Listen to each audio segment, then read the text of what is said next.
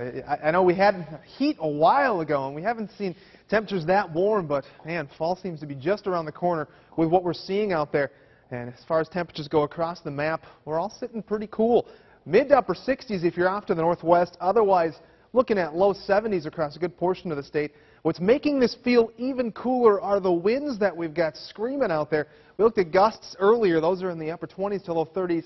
Actual sustained winds sitting in the upper teens to low 20s. So very strong winds out there. Not seeing too many kites or toupees flying around out there, thankfully. Uh, we'll eventually be seeing this wind die down as we head later in the day tomorrow, but it'll be with us until then. 73 right now. Again, dew point is woefully low, so dry air is at play here, and that's going to help us drop off by way of temperature. 51 degrees by 7 o'clock in the morning tomorrow. We keep those skies clear all throughout the night, all throughout the day as we warm it back up to 75 degrees. So still below average, but at least we get a really sunny day out there for us. We did see that rain yesterday. That system now pushing its way off to the east, kind of stagnating at least the center of that low up in northern portions of Minnesota. What this has been doing for us is directing those winds out of the northwest. And you can see these black lines here, lines of constant pressure. When those get closer together, we see those winds stay strong. So if this little guy can stick up there for a little bit longer, which I do think he will, that's going to keep those winds fairly strong for us and keep that colder, drier flow of air alive.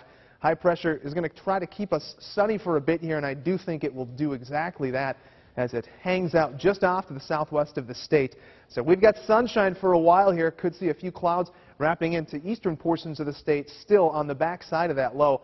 Otherwise, just a beautiful one out there for us as we put together a really nice day and evening. So 50 is what we'll be dropping it down to tonight. Keep those winds out of the west at 10 to 20 miles an hour. So hanging on to the gusty one out there. And tomorrow we continue that as well. Temperature climbs up to 75 degrees, so breezy, but with the sun that we've got out there and the drier air in the mix, it's looking to be a beautiful day.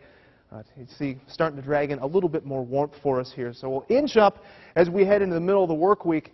But it's going to stay cool for a bit, especially the mornings. Low to mid 50s over the next few days. We make it into the upper 70s Tuesday and Wednesday.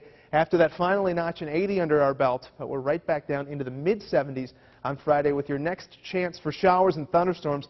Over the next eight days, though, that's all we've got. Temperatures back into the mid 80s by the weekend.